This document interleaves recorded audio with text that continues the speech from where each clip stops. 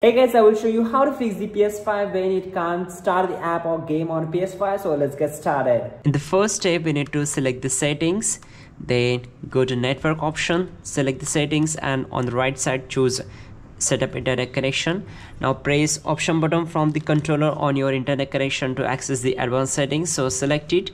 Now go down to DNS settings and change it to manual and it will uh, you know if you said manual then you can access the primary DNS and secondary DNS so for the primary DNS simply add here 8.8.8.n and to the secondary DNS add 8.8.4.4 once done select ok and this will complete the internet connection process.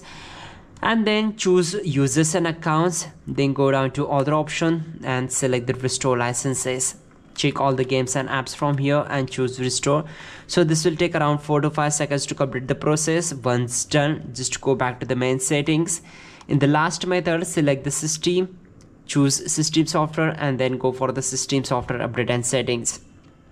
Select the update and uh, update system software using your internet. And once done simply restart your ps5 and your problem will be fixed. That's it guys. You're good to go